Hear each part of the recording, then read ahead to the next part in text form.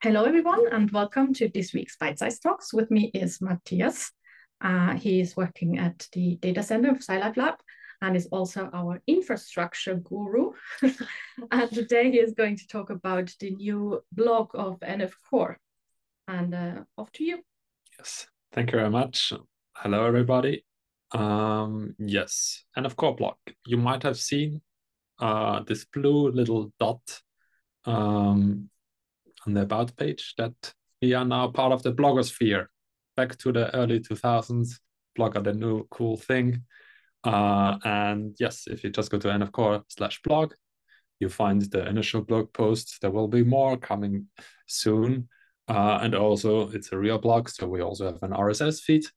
And this RSS feed is also piped into the NFCore posts uh, Slack channel. So if you don't want to regularly look on that page, uh, but still want to know when there's a new post, we will write probably also in the announcement channels, but every post will also be coming up in that channel automatically.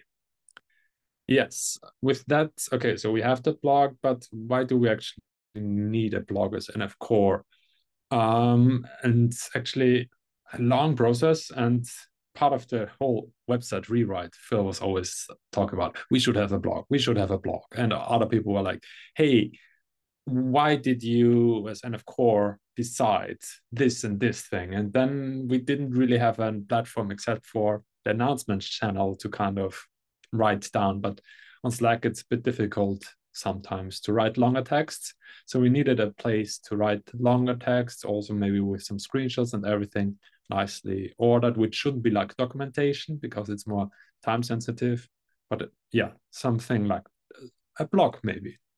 Uh, also for events like hackathons, we didn't really have a place to kind of share what what we did during the hackathon. There was like the video, the wrap up video, but usually the um, photos are taken, stuff happens, and it just disappears. So with this, we hope we can also capture that a bit uh, also like from us from the infrastructure uh, place it is nice for the when we add stuff to tools that we have a place to kind of show it off a bit more besides the announcements or the tools channel um, and also to, to the wider community there are like if you have a bigger pipeline release with like a big new feature or something like that would be a place we can imagine um, to post about it on a blog or other community related things uh, you think should be on a blog.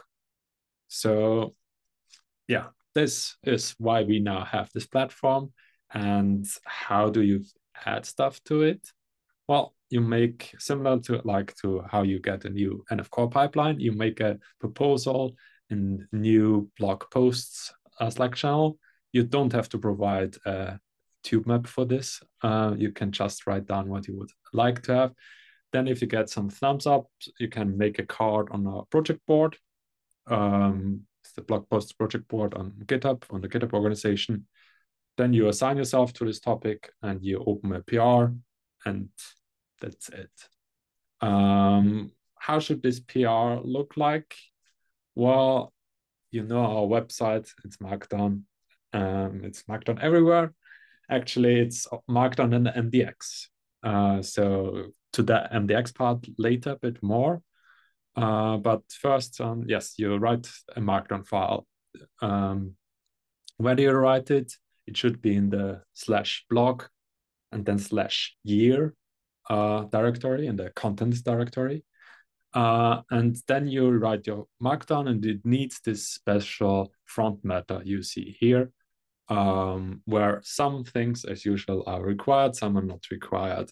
Uh, no worries too much about this. We have some sanity checks. So if you try to build your page with something missing or something incorrect, it will just not build. So you will not break anything. It will just not appear uh, on your uh, development platform. Uh, but let's quickly go through the front matter. So this is separated by three minus signs from the actual rendered markdown text. You have the title and the subtitle, which is quite clear. Then you have an header image, which is like you saw before, um, just an image which appears in the card, but also then in the blog post. Um, there's then a requirement implemented that if you have an image, uh, and here, for example, you can just use Unsplash, uh, you need to also have an alt text. So we make it a bit uh, more accessible, the whole thing. So that is something we check. If you have an image, you also need to have an alt text. Um, then also very important is the publication date, because that's when that markdown is actually coming up on the website. Um, needs to be in this very nice ISO format. So keep in mind all the UTC offsets and stuff like that needs to be correct there. Otherwise, something will be off. And then the authors, where you just write an uh, YAML array with your GitHub usernames, uh, which are then nicely rendered in all the different places. Um, and also, this is uh, we have optionally a field for labels. We haven't have don't have so many posts yet to actually like need filtering, but in the future we are thinking of using these labels to filter your posts um, into different sections. And yes, and then you just write Markdown. Uh, and it is, of course, not just Markdown, it's the NF core flavor of Markdown. So you can write some callouts, uh, admonitions. We, you can have fancy code blocks with file titles, highlighted lines, line numbers, whatever you want. Uh, and also you can use MDX. So you can take whatever uh, component we have on the website, add it into your markdown and get it, oops, get it rendered. That was too fast, sorry for that. Um, yes, main authors for this blog are uh, of course, the core team and the outreach team, but also maintainers in general, and whoever in the community wants to contribute to it. We are quite open. Who wants to write? We, of course, don't really want too much like uh, advertisements for like companies there. But in general, if it's of interest for the NF core community, I think we're pretty open to to certain yeah uh, entries there. And when you then write your blog post, how can you actually look at it? There are two ways. The first one uh, is the more, I, I, think the easier one, uh, just on your local machine, run npm run dev, then go to the blog uh, site on the local host, and you should see your blog post appear there if you set the date correctly, be uh, aware about the publication date. And also then when you submit your PR, it should, will be built. And if the publication date is in time, it should also appear there. Yes, with that, are there any questions on this whole new initiative of the NF Core blog?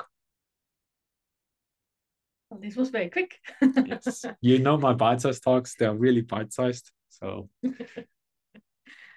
um, uh, could you maybe elaborate a bit more about the publication date? Where do you give this up publication date? Uh, yes, so it is just the uh, front matter of the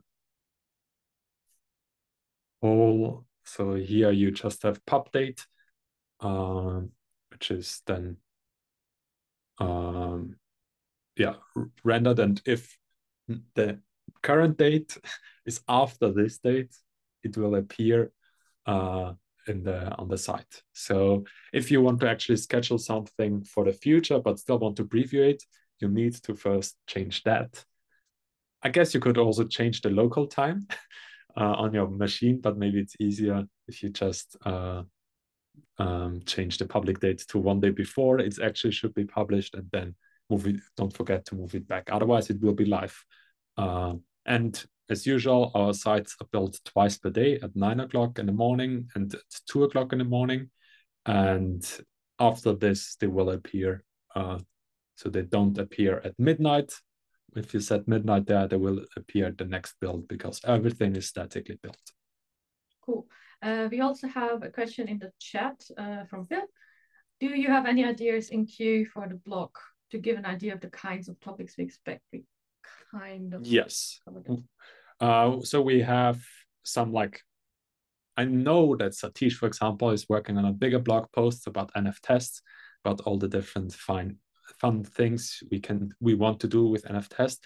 Also a bit to support the documentation that we have a bit more of our reasoning for NF test and how we see NF test used and that. That is one idea. Uh, then like other community events happening or uh, surrounding NF core are also planned. Uh, hmm.